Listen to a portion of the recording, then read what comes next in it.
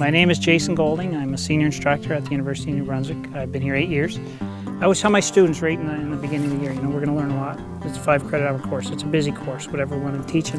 But, but, you know, I said, we're going to have fun. And I guarantee you're going to have fun doing it. And you're not even going to know you're learning. He really puts a lot of effort into getting through to the students and connecting with them on a really good level. If Jasen's in his office and his door's open, you can walk in at any time.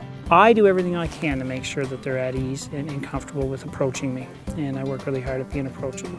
He doesn't just want to get you through a course, he wants to make sure you understand.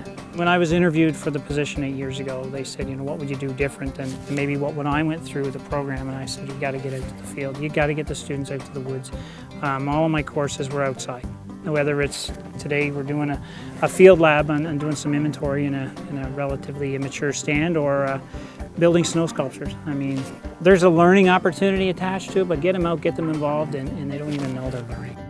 I bring a different perspective. I'm not a researcher. I, I spent most of my career in the woods working uh, for a forest company and coming back, I'm, I feel I'm a practitioner. I mean, I take students out.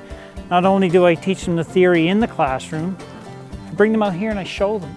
They're, they're applying the skills that, that we talk about in the classroom and, and, not only do they, you know, they see maybe how these tools work, they're out in the field and they're practicing and they're seeing how they work and, and hands-on learning. And, and I mean, there's no, there's no substitute for that kind of learning. And we could have talked about that in a classroom, in a lab, for three hours this afternoon.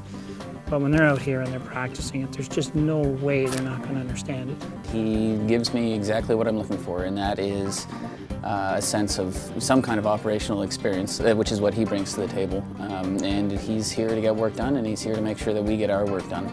And that's, that's what I'm looking for.